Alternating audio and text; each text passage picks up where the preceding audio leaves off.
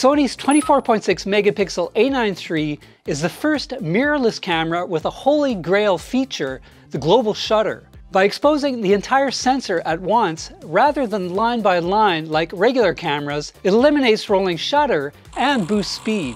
Okay. It also removes the need for a physical shutter. Yes, the A9 III is a $6,000 camera, but the technology will eventually trickle down to cheaper models. There are a couple of downsides though. Because of a global shutter's nature, image quality is reduced compared to regular CMOS sensor cameras.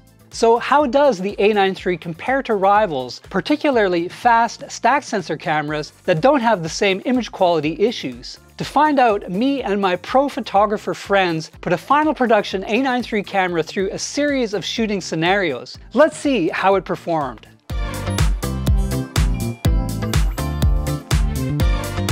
The A9 III is easily Sony's best handling camera yet. The redesigned grip is more comfortable and secure, a boon to working pros with heavy lenses. At the same time, it's surprisingly light at just 617 grams. There are three top control dials and it has a pair of dual dual setting dials for video, photos, plus shooting modes, along with burst and AF modes. You also get a rear joystick, D-pad type dial, and no less than five custom buttons. Everything is well placed, so it's a cinch to shoot manually. Should you need to delve into the menus, those are also Sony's best. Settings are divided logically into categories, and the home menu shows key options at a glance. Everything can be customized, and you can back up your settings to a memory card.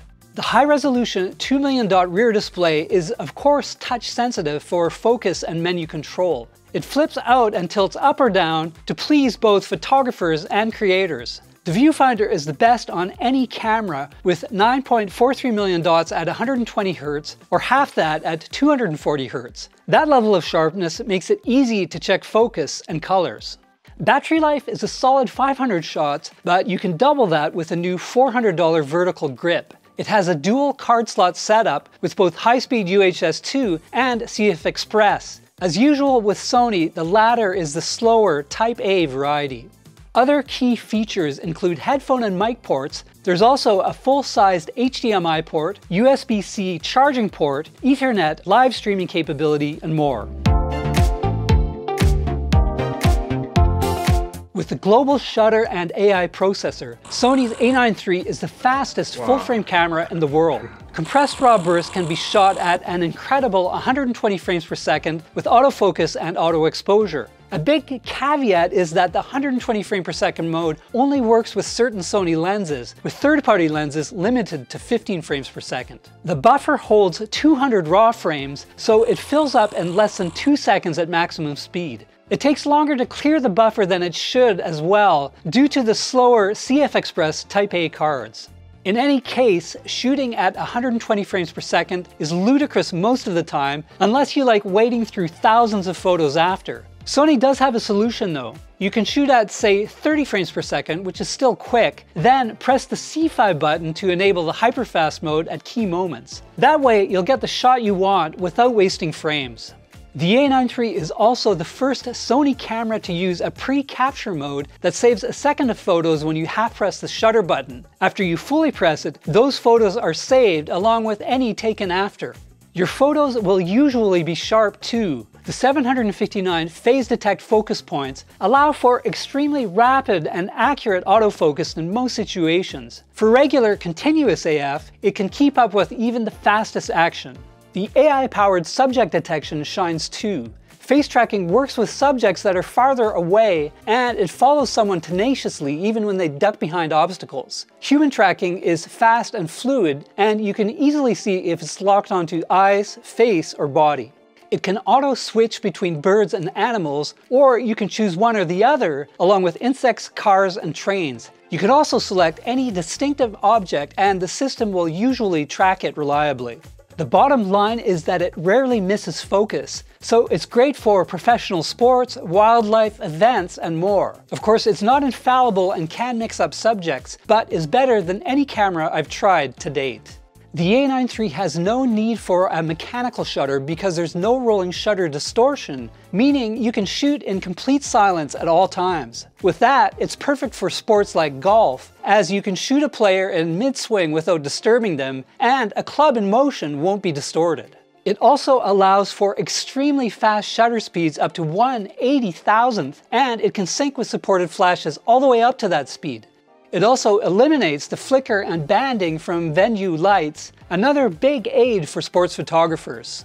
Sony has boosted its in-body stabilization up to 8 stops with supported lenses, allowing you to take photos at a quarter second or less.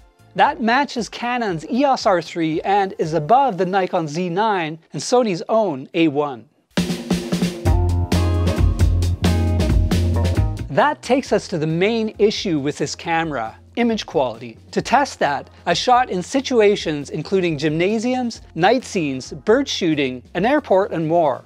There's no question that dynamic range is reduced compared to Sony cameras like the A1 by at least a stop. The reason is that the sensor has less light capacity due to the space taken up by the extra electronics required for a global shutter. It also has a smaller ISO range both on the high and low end, Minimum ISO is not great at 250 and at the high end, ISO is limited to 25,600, half that of the A9 II.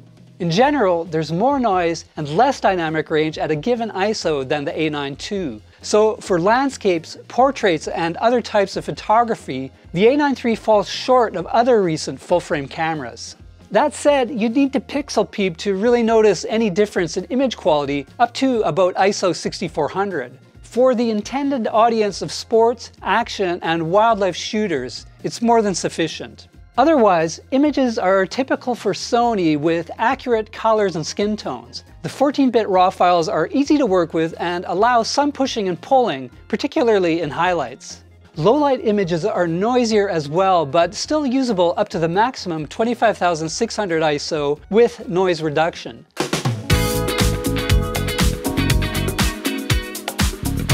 The A9 III also has incredible video specs. 4K at up to 60 frames per second is super sampled using the full 6K sensor width, or 4K at 120 frames per second with pixel binning.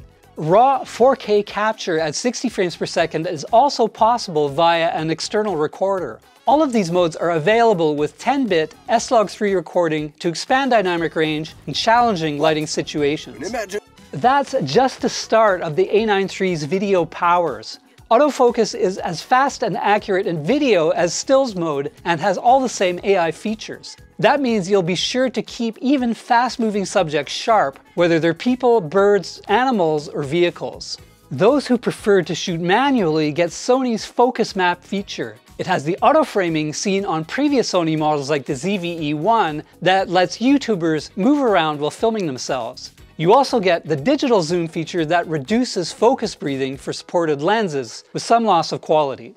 Airplane propeller distortion in video is a telltale sign of a rolling shutter camera, so naturally we had to test the A9 III at an airport against Sony's stack sensor A1. Our findings? The A1 still produces bendy propellers, but they're of course dead straight on the A9 III. That trivial test has large implications. You can shoot things like whip pans or a fast-moving train that you'd never try with a rolling shutter sensor. And since everything is exposed at once like a film camera, it's more cinematic. Video stabilization matches the excellent level found on the ZV-E1. Regular optical stabilization is good for handheld shots without much movement, or you can kick in the dynamic active mode for walking. That provides near gimbal levels of smoothness, though there's a considerable zoom and loss of sharpness. Much as with photos, video quality isn't quite up to other full-frame cameras with more noise in general. I shot S-Log3 most of the time to maximize dynamic range and was satisfied with the results. In low light, I was forced to use some noise reduction. Quality is still better than any APS-C mirrorless or cinema camera though. I think the global shutter advantages, particularly the elimination of rolling shutter, will be worth the trade-off in quality for a large number of videographers.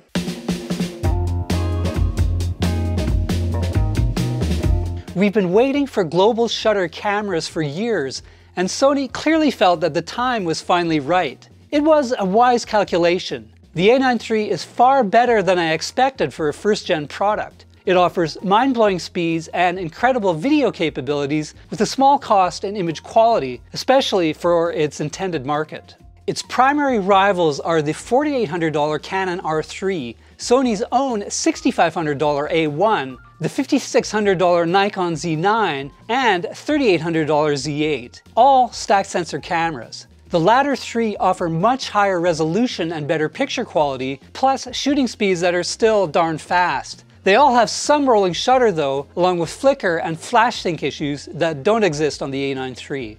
Whether it's worth a leap into this all-new technology depends on the buyer. Action photographers and videographers won't blink at the cost given the advantages. Unless you really need those benefits though, Nikon's Z8 for one is a more versatile camera at a much lower price. Thanks for watching and if you enjoyed this video please hit like and subscribe and for more on technology check out Engadget.com.